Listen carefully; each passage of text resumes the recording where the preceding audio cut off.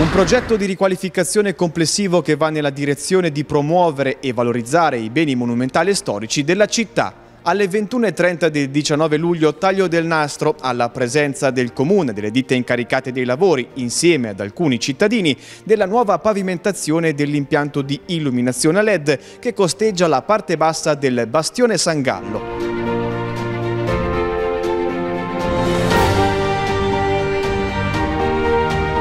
L'intervento si è reso necessario a causa del degrado diffuso del manto pedonale precedente dovuto per lo più a cedimenti del fondo che hanno determinato irregolarità del piano e avvallamenti. Per quanto riguarda la pavimentazione ricordiamo che c'era una pavimentazione in Cociopesto ammalorata che si era ammalorata purtroppo velocemente, oggi è stata sostituita con della pavimentazione in ghiaia lavata e come vedete anche tutta la cinta muraria del bene è stata illuminata con un'illuminazione scenografica e che scende scende sulla, su tutta la facciata e la valorizza al meglio. Oggi naturalmente tutto quello che è un po' l'effetto scenografico viene eh, non viene valorizzato al meglio perché dall'altra parte della strada abbiamo dei lampioni a luce rossa che inficiano un po' eh, la luminosità, ma da settembre quando verrà appunto fatto il relamping all'interno di tutta la rete luminosa sicuramente riusciremo a vedere quello che effettivamente sarà tutta la dinamica di questo effetto scenografico che è stato scelto per questo tipo di impianto.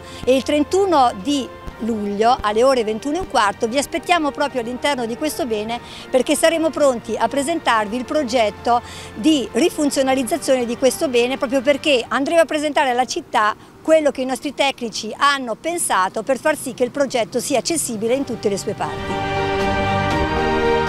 Inoltre, ha aggiunto Brunori, verranno inseriti in un secondo momento dei nuovi faretti che andranno ad illuminare la cuspide della fortificazione rivolta ad est, ovvero quella verso la stazione. Costo totale dell'operazione 220.000 euro, già visibili da ieri sera invece i giochi di luce che andranno a caratterizzare l'intero bastione. Abbiamo ridato dignità a questo spazio da quando sono stato eletto, tante lamentele richiedevano una riqualificazione di questo percorso pedonale che è anche l'ingresso verso la stazione e devo dire che con questo bel intervento aggiunto, a cui abbiamo aggiunto anche l'illuminazione per dare valore, rendono ovviamente questo scorcio di città